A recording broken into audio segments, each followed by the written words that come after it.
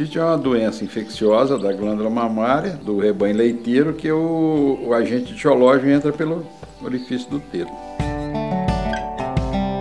A mastite é considerada a doença mais grave do rebanho leiteiro porque ela causa despesas com tratamento e prejuízo no descarte de animais, de perda de tetos, atrapalha muito o sistema produtivo.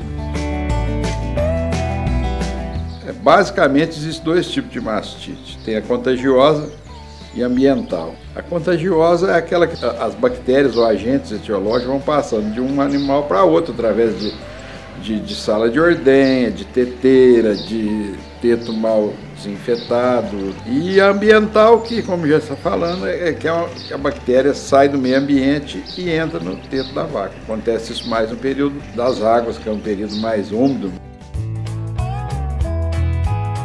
Contagioso, é uma mastite mais é, de sintomatologia mais leve, mais problema no leite, grumo no leite, a vaca pode ter um pouco de febre, uma vermelhidão no úbrio. Ao passo que a mastite ambiental, que é causada por bactérias gram-negativo, ela já é uma mastite septicêmica, quer dizer, o animal já entra com um aumento de temperatura, inapetência, 12 horas para a produção de leite, ela começa a produzir um líquido aquoso, e se você não tratar, em 48, 72 horas ela vem a óbito.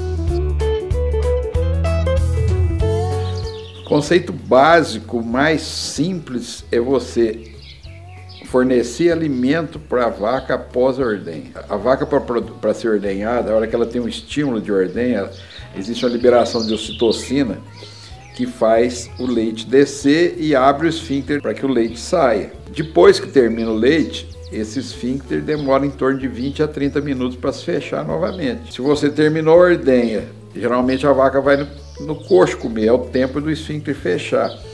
As fazendas que não tem quem forneça essa comida para a vaca após a ordenha. Então, ela, como não tem o que comer, ela vai lá e deita. Geralmente ela deita no barro.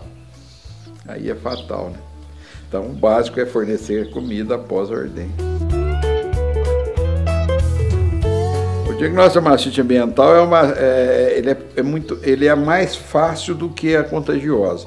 Contagiosa, geralmente você tem que fazer um exame clínico do peito, via, fazia o teste da, da, da caneca de fundo preto para ver se tem grumo e às vezes fazer um, um teste químico, que é o CMT, para você detectar leucócito no leite. Então, geralmente, fazendo organizado, você faz CMT uma vez por, por mês ou quinzenal. A mastite ambiental é mais violenta, mais, mais grave, mas de mais fácil diagnóstico, porque o animal apresenta que está doente. Tem febre, inapetência, para de produzir leite, então qualquer ordenador vê o animal quando está com mastite ambiental. O melhor tratamento para mastite ambiental é o tratamento rápido, imediato, com doses altas intervalo curto, de preferência intravenoso. Por ser uma doença galopante, não adianta você fazer um tratamento intramuscular com produto de absorção lenta. Você tem que fazer um tratamento com medicamento com absorção rápida. A gente sugere o Gentopen, que é um produto que foi desenvolvido especialmente para doenças graves. É 20 milhões de penicilina cristalina, a única do mercado, né?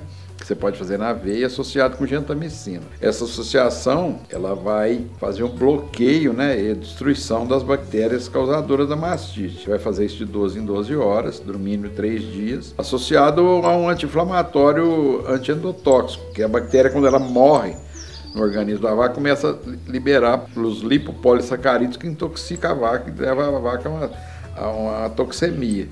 O mais indicado, até hoje descoberto, é o flonixin, fazer 20 ml por dia durante 3 dias.